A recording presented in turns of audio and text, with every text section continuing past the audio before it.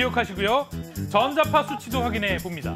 전원 공급이 되잖아요. 전기가 들어와야 작동하니까 전자파 걱정 안 할 수 없습니다.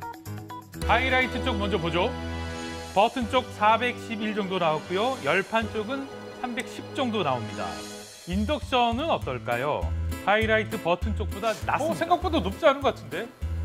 오! 여기 완전 쭉쭉 치고 올라가네.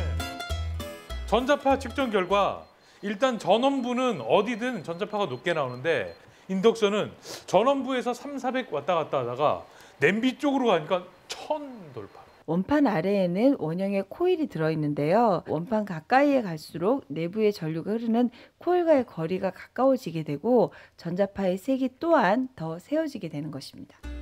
그렇다면 전기 요금은 어느 정도 나올까요? 인덕션은 급격하게 가열이 되는 방식이고 얘는 좀 시간이 천천히 걸리거든요. 그러니까 열 효율에 따라서 요금 분포도 좀 달라질 것 같은데 전기 요금 측정해 보겠습니다. 달걀 하나 삶아봤습니다. 먼저 인덕션부터 측정해 봤는데요. 한 3분간 지켜봤어요. 사용 요금 봤더니까 20원 정도 나옵니다. 하이라이트도 같은 방식이에요.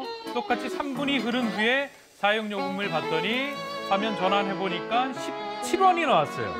인덕션이 3원 더 높게 나온 상황이죠.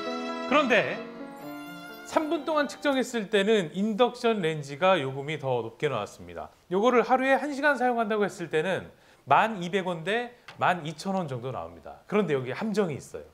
만약에 물이 끓을 때까지 사용을 한다. 얘는 2분이면 끝나는데 얘는 한 5분 걸리거든요. 두 배가 더 걸리는 거예요. 인덕션 레인지가 훨씬 더 요리 시간이 짧으니까 결과적으로는. 요금이 더 그렇죠. 저렴한 건 인덕션이 아닐까 생각이 돼요.